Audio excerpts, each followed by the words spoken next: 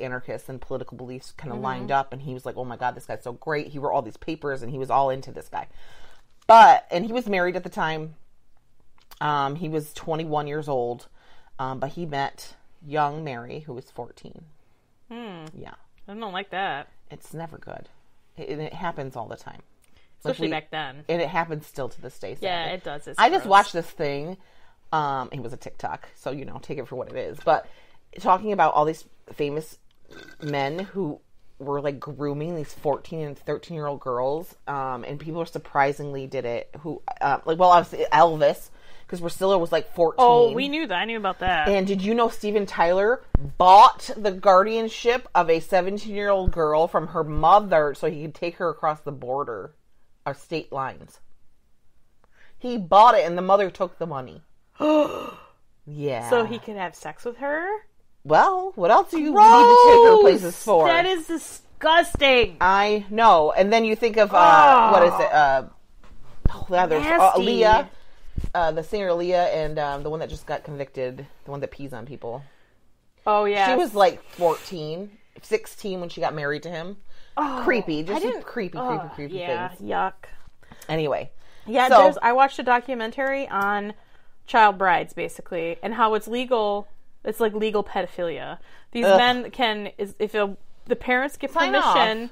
yeah, a woman, even in New- even in New York State, Yep. a girl as young as what, fifteen or sixteen, Can can get anyone. married a man who's forty or fifty. and if you're signing that paper off, you're a piece of garbage. Yeah. If you're a parent saying it's okay, now your child doesn't know any better because they're being groomed by this Pedophile. asshole, pedophile, mm-hmm. and you're okay with it. Like, come on. So anyway, Mary was 14. He was 21. We know how we feel about that. We don't like it. Um, but at that time, it really was a thing. That's what everyone did. Um, now, Yes, but the fact that he was married already. Oh, yeah. that's like Percy Shelley's No. kind of a disgusting man. you think. saying, yeah. yeah, Um, and I know Julian Sand played him, and we love him. and we love him, but Julian Sand didn't do this stuff. He's still attractive. Oh my god, I love him. um, they would s- sneak and meet each other um, often in the churchyard where her mother was buried because she spent a lot of time there, and her stepsister Claire would help them meet up because she was all about rom- it was very romantic. You know, everything woo is that time of in the romantic period, and everyone Yes. this is love and They're well, the best romance novels from that period. Yes, seriously. Mm-hmm. like gothic and romantic era, yeah. Um, so here's where this is awful. Jane Austen was at her peak Yeah. then. Yeah, she's This great. is no Jane Austen tale. no. Listen Okay, to this. I'm listening. Mary says that she lost her virginity in the churchyard by her mother's grave. What? Percy Shelley. Ew. Yeah, so they basically did it on their mother's grave. For the first, isn't that disgusting? That is horrible. ew. I wrote ew. Creepy. Ew. It's just wrong on many levels. Oh. Um, Mary said that she was attracted to Percy for his wild intellect because he was very smart and he was different, and his unearthly looks. Uh, I've seen pictures of Percy Shelley. He ain't no Julian Sands, Unearthly. but if he looked like Julian Sands, I could see why she would be having sex on her. That's terrible. No, I couldn't. I would not do that. No, ever, not ever. But I would probably would have been fine with a 21 year old showing attention to me if it was Julian Sands. That's how they mold you. Don't fall for it, girls. don't. Um, her father obviously disapproved of this when he found out that they were having a relationship because his daughter's 14, he's 21, and he's a married man. Like, it, her father had like these, you know, anarchy beliefs and like against society, but there's some things that he still felt like, no, we don't do that around here. Um, Right. and this caused her father not to want to speak to her for many years. So she chose Percy over her dad. At 14, she's just a baby though. He shouldn't have. Yeah, it's like he shouldn't. It shouldn't have been him mad at her. you should have been mad at Percy. Right. But you don't ever get mad at the man, Margaret. It's never the man's fault. Oh yeah, that's right. So July of 1814, they decided they were going to run off and elope, even though he's married. They're going to run off together because everyone's in London are like, "Did you hear about Percy Shelley? And he's sleeping with Godwin's daughter, who's 14, and he's married." There was all all these the respectable people in society were gossiping about it, and they wanted to get away from that. So what Percy Shelley's famous for running away from his problems. So he leaves his wife. Oh, my, oh, she has two kids. He's they have two children, mind you. Mm-hmm. Percy and his first wife, two children. He leaves her and runs off somewhere with a fourteen-year-old girl. Um, Claire goes with them. I hate Percy Shelley. I know. He's an asshole. I know. And Claire goes with them and they run off together. And they go trampsing about London and all these things happen. And it made the gossip even more big in London, which made her father pissed off. Like, great, and now all this gossip's still happening. You made it worse. and So- that's what it was about. It was like it- it's not even so much that they did it; it's the fact that all of London knows about it. That's, what made her dad really mad, I what think, makes- more yeah. than anything. So this is July. They were gone until September when they returned. She was pregnant, but and they had no money because Percy, being a baron and drinking and partying and doing opium all the time, doesn't bring you much money. Especially when he he's a poet and he's famous, but he's not doing a lot to promote himself. You know what I mean? He's not getting his stuff out there. So um, they come back. She's pregnant. Um, they're shunned by people in the respectable society because she, you know, she's this mistress. He left his wife and two kids. He's a dirtbag, basically. Um, so her father said, "Not sorry, you built this bed. You made this bed. You're to lie in it." And he did not help them. Percy would disappear often because he was trying to not get arrested for his credit. So they had debtors prison back in England. Oh, then, yeah. you know where they arrest people for being in debt. So he was trying to avoid that. Okay, I'm gonna. This is something I have to throw in here. So this is like around 1814, 1815. They're still doing this, but on a far end of another part of our world, on April 15th, 1815 this this plays into this story, so I have to talk about it. And I didn't know this was even a thing that ever happened, so it's very interesting.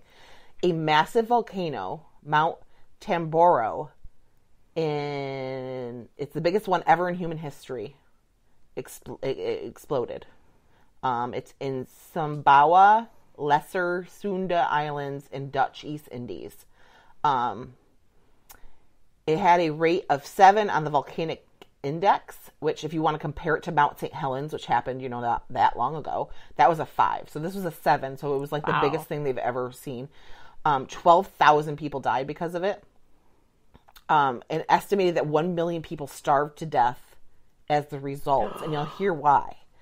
Um, 35 miles of rock and toxic ash, sulfur covered the the um, horizon, and even spread around the world, even into America, where everything was clouded and there was like this smog like redness in the sky. Um, and this lasted for three years, mind you. That's crazy. Yeah. Um, Makes you. That's like probably what killed the dinosaurs. Yeah. It caused a volcanic winter that went to, went into the summer of 1816. So this is where some of this comes into play, okay? Uh, sunlight was blocked from the sky because they had this haze, right? So crops couldn't grow. Crops were failing. Temperatures dropped to freezing during the summer. It caused a volcanic winter.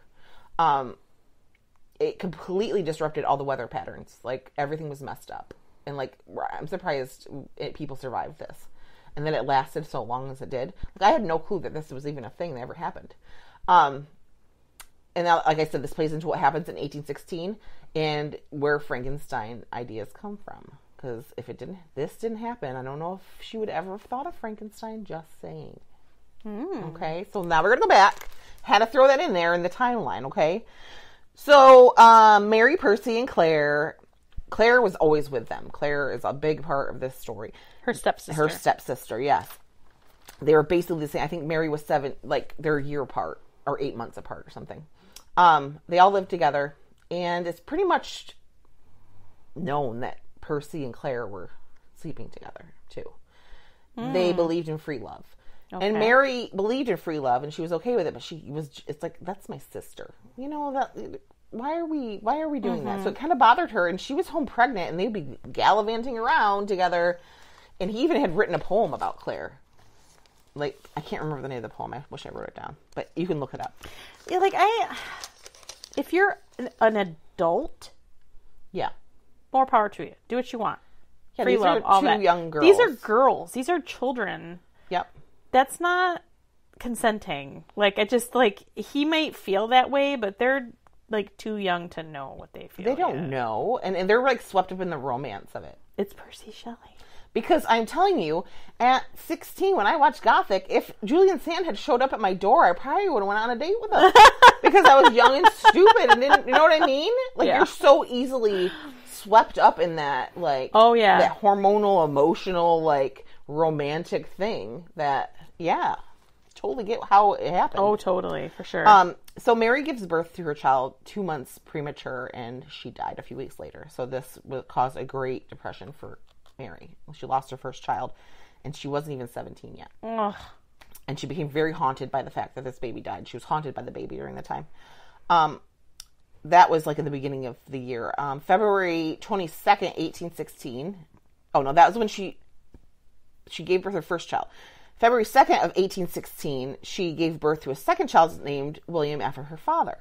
So she got pregnant again, and basically instantly afterwards, because Shelley is apparently can't get enough of it, and she probably wasn't even healed from the first baby. Have another one. Um, and then March of the same year of 1816, Claire uh, met the famed poet Lord Byron. She has the thing for poets. Yes. And Claire wanted to be famous. Like she wanted to be known. She didn't care what it was that she was known for. She just wanted to be famous. Uh, she was beautiful. She had curly dark hair, and um, people just were attracted to her. You know. Um, at the time, he was the director of the Drury Lane Theater, and she went to him for advice about her career. She wanted to be an actress or a writer.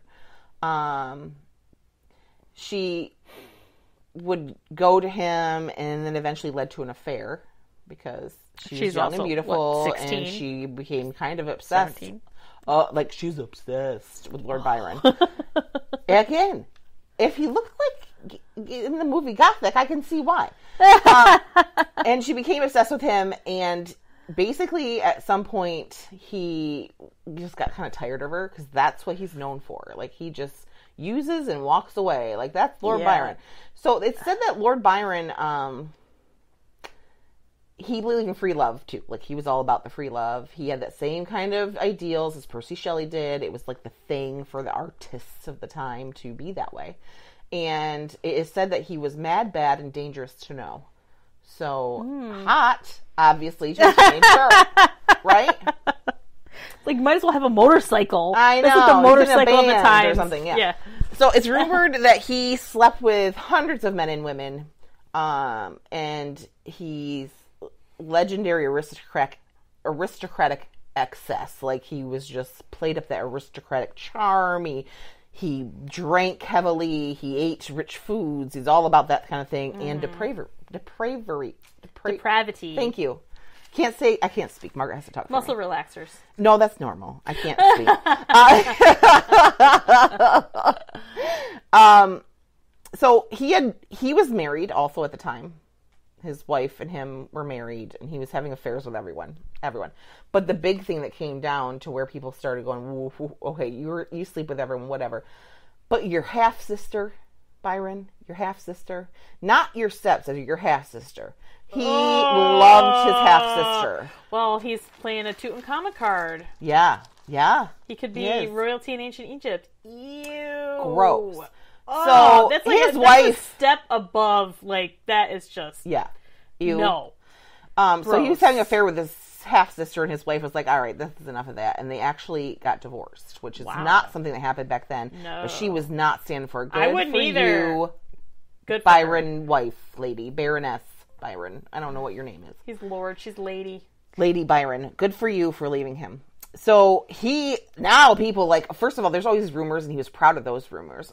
Yeah, I'm a latest man. I'm out there partying. But when they started saying, "Ew, you did, you were with your stepsister and your wife left you," like that's pretty Half-sister. yeah, your half sister and your wife left you, that's pretty low. Your wife left you. Like that was embarrassing to him. And he was like, Oh my god, I can't be around this. I don't want to hear it. Because he and him, like Percy Shelley, runs from his problems. So mm-hmm. Claire, who was obsessed with Byron at the time, and found out she was pregnant, Oh. She hears that he's going running out of he's leaving and she hears why and she's all like i don't i can't be without this man i need to be with him he doesn't know this that she's feeling this way because he's taken off she can't find him but she knows he's going to switzerland and she knows where he's going there because she found out somehow she used her feminine wiles and she figured it out It probably wasn't that hard to find out. so at this time, Mary and Percy were going through their own stuff. The child died. They just had a baby. Um, he's in debt too. He's trying to avoid credit prison and all that. So Claire's like, "What? You know what we should do? We should go to Switzerland. We should go vacation."